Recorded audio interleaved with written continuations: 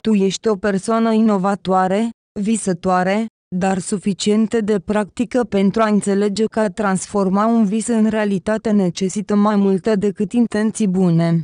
Atentă și decisivă, ești capabilă să planifici și ești dispusă să lucrezi din greu pentru a-ți aduce la viață ideile. Deși modul în sus nu este întotdeauna neted, persistența și refuzul tău de a te retrage aproape garantează succesul. Tu ești căutătorul care încearcă să unească afacerile lumești și bucății de adevăr universal. Cauți să-ți folosești talentele pentru a crea ceva care va fi important pentru umanitate pentru o lungă perioadă de timp. Nu trebuie să împiedici realizarea abordării individuale a vieții, chiar și în cele mai practice domenii legate de activitățile profesionale, tu reușești să acționezi în conformitate cu idealurile acceptate pe o scară universală. Personalitate puternică, ești adesea în contact cu aspecte ascunse ale sufletului și conștiinței umane. În familia sau cercul tău social, ești recunoscută ca om cu principii care nu numai că își poate apăra în mod convingător opiniile, ci și datorită magnetismului intern, pentru a câștiga asupra altora. Cu toate acestea, tu nu ar trebui să te suprapui cu fenomene negative și să te obișnuiești cu tendințe autodistructive. Semnul zodiacal Capricorn este direct legat de semnele elementului Pământ, care se disting prin următoarele calități, diligență, prudență, prudență, devotament, austeritate, claritate, severitate. În mod paradoxal, ai cele mai mari dificultăți cu problema subtilă a timpului, disciplinată, înțeleaptă și capabilă să muncești din greu, de prea multe ori nu ai timp să faci tot ceea ce tu însă ți-ai planificat. În ciuda spiritualității dezvoltate și a raționalității practice, nu ți este ușor să înțelegi pe ceilalți și să stabilești contactul cu ei. Ar trebui să aplici toate forțele dăruite în mod generos de Saturn pentru a rupe țesătura realității obiective, acest lucru va preveni dezvoltarea unei ambiții dureroase și nerealiste și te va ajuta la evitarea angoaselor mentale. Persistente și materialistă, te bucuri de harul unui Saturn serios și măsurat, dar acest lucru este mai mult o povară decât un cadou. Așadar, te străduiești uneori să-ți complici atât viața, cât și pe majoritatea celor din jurul tău. Înțelepciune lumească, o capacitate de invidiată de muncă, spiritualitate dezvoltată și disciplină minunată, cu o astfel de zestre, poți întoarce munții. Nu tot ce planifici și livrezi tuturor celor dragi prin comportamentul și pragmatismul tău, ajunge la un final corect. La urma urmei, Saturn, ca tată al timpului, se asigură că tu nu ai suficientă timp pentru divertisment și alte slăbiciuni. Tendința ta naturală spre solitudine și muncă continuă este o caracteristică bună, dar nu trebuie lăsată să se dezvolte până la exagerare excesivă. Adori să planifici și să calculezi totul până la cea mai mică nuanță, iar cel mai simplu mod de a te dezechilibra este să amestece cineva toate planurile tale. Pari mândră, autosuficientă și chiar impregnabilă, dar ai nevoie de dragoste și cooperare cu ceilalți la fel ca noi toți. Planeta ta guvernatoare este Saturn. Aceasta predetermină dorința ta de ordine. Planeta este favorabilă pentru profesiile din serviciul public, precum și pentru funcționari. Planeta ta în exil este lună. Ea este responsabilă pentru severitate, precum și pentru lipsa de emoție. Tu ești născută deja la intersecția cu vărsătorul, prin urmare, influența constelației vărsător este simțită destul de puternic. În special, tu nu ești conservatoare, aceasta este o caracteristică a vărsătorului, și, de asemenea, îți place să visezi, să inventezi, să construiești proiecte. Generarea ideilor este o trăsătură puternică a ta, dar semnul zodiacului pentru tine este încă Capricorn, iar influența Capricornului este simțită în faptul că înțelegi perfect că pentru a-ți realiza proiectele în realitate trebuie să lucrezi multă timp. Poate fi extrem de dificil să se comunice cu tine, dar reușești totuși să acționezi dinamic și să afectezi în mod semnificativ lumea din jurul tău. Se pare că, dacă este nevoie, îți poți mobiliza energia până la ultima picătură. Este posibil să nu poți să conduci o viață normală din punct de vedere organic, chinuită constante de probleme personale, adesea emoționale, arzi ca o cometă strălucitoare într-un cer întunecat și apoi disparși fără urmă în noapte. Fiind o persoană cu energii explozive, ar trebui să-ți controlezi mai atent spontaneitatea și vorbele aruncate aleatoriu. Cu toate acestea, poți fi de altă natură, cea care simte în sine nevoia de a desena o linie strictă de separare între reverie, lumea creată de ea și o viață personală mai stabilă, sau, din potrivă, modelează viața interioară turbulentă, stabilizându-se astfel. În orice caz, dorința de obiectivitate și echilibru te ajută să controlezi izbucnirea energiei. Entuziasmul natural și activitatea înaltă sunt faptele tale incontestabile. Dacă ești dintre acelea care în sine pot suprima lăstarii individualității și creativității, atunci te vei supune iritabilității și nefericirii. De obicei, o criză de personalitate ar fi trebuit să fie depășită la vârsta de 28 de ani, odată cu întoarcerea lui Saturn, iar apoi în jur de 42 de ani, când ar trebui să faci o alegere cardinală în favoarea extinderii sau, din potrivă, a reducerii activității tale. Te distingi față de alții nativi din Capricorn prin astfel de trăsături speciale, ești realistă, responsabilă, înțeleaptă. În cercul social în care te rotești de obicei, ca și în familia ta, ești iubită și respectată. Tu ai propriile opinii și ești capabilă să-ți aperi în mod convingător punctul de vedere și chiar să-ți atragi susținătorii. Poți fi una dintre cele pesimiste în viață, de multe ori nemărginite de mândră și arogantă, ceea ce face foarte dificilă găsirea împreună cu tine a unui limbaj comun și este, în general, inutil de argumentat. Tu te concentrezi mereu asupra rezultatului final, ești interesată numai de succesul tău personal, pentru care ești gata să faci imposibilul și chiar mai mult. Uneori se pare că poți mobiliza și utiliza toată puterea energiei tale, până la ultimul gram, dacă este necesar. Cum afectează data de 19 ianuarie soarta ta? Tu ai întotdeauna propria abordare personală pentru orice afacere și pentru viață în general.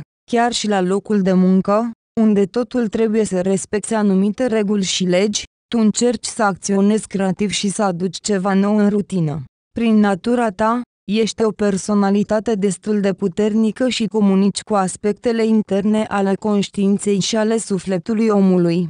Încerci întotdeauna să-ți aperți punctul de vedere, destul de convingător. În plus, tu ai un magnetism și un farmec deosebit, capabile să atragă și pe cei care nu sunt de acord cu tine. Poți părea foarte ascunsă și dificil de comunicat cu indivizii care iubesc să trăiască printre dificultățile vieții, dar în același timp tu reușești să influențezi activ lumea exterioară și societatea. Se pare că, dacă este nevoie, îți mobilizezi în mod adecvat toată energia internă. Totuși, se poate spune că nu poți și nu știi cum să duci o viață normală. Problema constă în torturarea constantă a problemelor personale care afectează starea emoțională globală. Poți fi comparată cu cometele strălucitoare în cerul întunecat, poți arde pentru o vreme și apoi dispari brusc în noapte, fără să lași în urmă. Sfat. Încearcă să reduci haosul și spontaneitatea în interiorul tău. Va fi foarte bine dacă există o persoană înțelegătoare și armonioasă în apropierea ta, cu care poți întări o legătură puternică. Aceste lucruri te va ajuta să îți atingi echilibrul intern și o împământare moderată. Cu toate acestea, poți fi supus acestui fapt, că separ strict reveria și realitatea fantastică de lumea reală din jur. De asemenea, poți adopta modelele de lucru existente la viața turbulentă internă, stabilizând-o și transformând-o într-o stare armonioasă. Sfat, caută o viziune echilibrată și obiectivă asupra realității, acest lucru te va ajuta să îți controlezi energia internă și să o protejezi de la supratensiuni. Principalul fapt, desigur, este prezența entuziasmului natural și a creșterii activității tale. Sfat, nu te condamna la dorință și nemulțumire constantă, suprimând în tine orice rudiment ale aspectului creativ și ale individualității. De regulă, undeva pe la vârsta de 28 de ani și în jurul vârstei de 42 de ani, poți fi supusă presiunii unei crize de personalitate. Trebuie să fii deosebită de atentă la criza de la vârsta de 42 de ani, deoarece această vârstă este foarte importantă din punctul de vedere al luării unei decizii cu privire la ceea ce ar trebui să fie activitatea de viață anterioară. Sfat, nu arunca în zadar ceea ce privește stabilirea obiectivelor. Păstrează o viziune optimistă asupra vieții și apreciază strălucirea vieții tale. Dragoste și compatibilitate.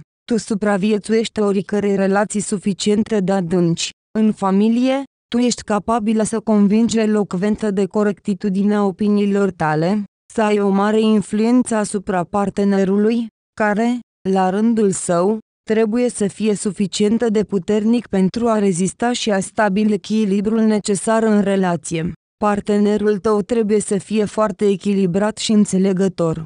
Partenerul ideal pentru tine toate domeniile vieții este taurul. Practicitatea și stabilitatea vor fi fundamentul cel mai puternic al relației voastre. De asemenea, o bună unire te așteaptă cu un alt semn de pământ, fecioara. Cu fecioara ești antrenată de dorința unei vieți simple sănătoase, de mâncare gustoasă și sex plăcut. Relații armonioase te așteaptă cu balanța, precum și cu reprezentanții zodiei tale. O relație pe muche de cuțită te așteaptă cu pești și rac. Relațiile cu vărsătorul și leul sunt puternic contraindicate pentru tine, reprezentanții acestor semne sunt persoane cu temperamente prea puternice, prea orientate spre libertate și spre risipirea banilor comuni. Antipodul tău absolut este gemeni, cu care nu ai practic puncte de contact comune. Unul dintre cele mai dificile semne pentru tine este berbecul, a cărui energie furioasă îți demolează literalmente echilibrul și stabilitatea. Locuri de muncă și carieră. Lucrul și varianta practică este deja influența Capricornului. Tu nu te retragi, te grăbești din nou și din nou la muncă, nu te predai, nu te comporți conform unui plan clar stabilit. De obicei reușești, ești ajutată de aceste trăsături ale personalității, precum și de obiceiurile și performanțele tale extraordinare. Doar lucruri semnificative în beneficiul întregii omeniri sunt interesante pentru tine. Sănătate și boli. Trebuie să direcționezi energia ta irrepresibilă în direcție cea bună. Pentru starea ta mentală este util să menții un echilibru între dorințe și realitate. Prea zeloasă în atingerea obiectivelor, în timp ce cheltui prea multă energie, riști să ajungi la o defalcare emoțională. De aceea, tu ar trebui să fii mult mai realistă pentru a te cunoaște mai profund și pentru a formula o abordare rațională a vieții. În acest sens, atât activitatea fizică cât și dieta joacă un rol imens, deoarece în aceste domeniu poți învăța să planifici în fiecare zi.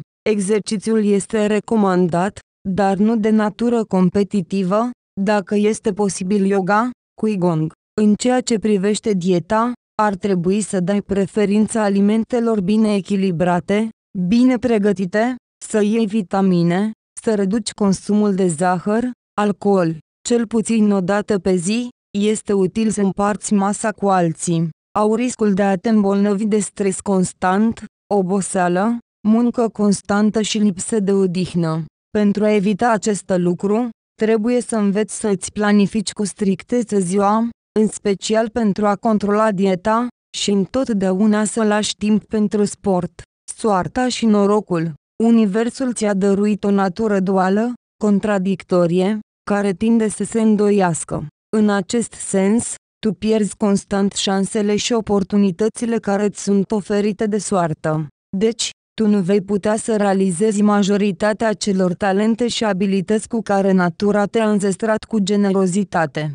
Având toate posibilitățile pentru o viață prosperă, nu știi cum să iei decizii ferme, îți lipsește perseverența și persistența, te poți lupta cu tine însăți, cu temerile tale interioare, creând tot felul de obstacole pentru tine însăți. Ai putea obține mult mai mult prin tratarea vieții mai inteligent, acționând mai înțelept. Modificările vieții sunt posibile numai printr-o schimbare de caracter. Sfaturi pentru tine. Cel mai important lucru pe care trebuie să-l știi, în niciun caz nu-ți suprima natura, individualitatea și creativitatea. Realizează-te ca artist, altfel poți trăi o viață mizerabilă, simțind nemulțumire față de tine însăți. Aderă la o perspectivă optimistă asupra vieții. Nu încerca să te conduci după scheme și modele, acceptă-te așa cum ești. Puncte critice pentru tine, sunt la 28 și la 42 de ani. La vârsta de 42 de ani, trebuie luată o decizie dificilă, dacă îți menții activitatea chiar mai departe la același nivel sau te îndrepți treptat spre o odihnă bine meritată. Ce cadouri ți se potrivesc? Ești o fire practică. Nu-ți plac surprizele. Însinate ești un gardian al vetrei familiei. Prin urmare, este mai bine pentru tine să primești cadouri pentru casă, un set de lumânări parfumate, prosoape, halate de baie, ceasuri de perete, picturi. Desigur că nu vei renunța la un covor confortabil, un pulover cald din lână. Tot ceea ce este util, convenabil și funcțional, de marcă. În general, lucruri pe care numai tu le vei folosi vor avea un farmec deosebit. Iubești monogramele pe cadouri. Pentru tine este important ca un cadou să fie veșnic al tău, iar când numele tău este sigilat pentru secole, nu contează că acesta este doar o scrumieră de cristal. Acesta este un portret general pentru tine. Te vei descoperi cu adevărat într-o astrogramă natală în care vei afla predispozițiile pentru întreaga viață, așa cum ți le-au dăruit ursitoarele tale.